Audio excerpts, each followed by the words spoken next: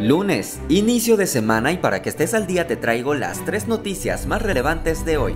En Estados Unidos inició hoy la distribución de la vacuna de la empresa Pfizer contra el coronavirus. El medicamento fue empacado en la planta de Michigan donde los trabajadores utilizaron cajas con hielo seco que lo mantienen a menos de 70 grados centígrados. Las cajas salieron de camiones listas para ser entregadas en más de 50 estados del país.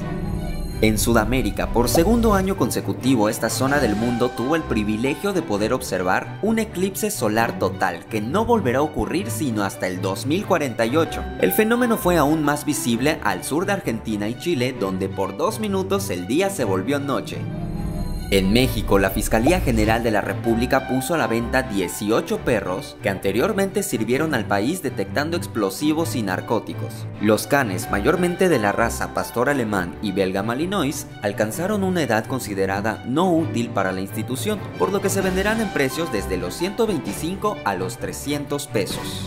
Ahora sí, ya estás informado, rápido y bien.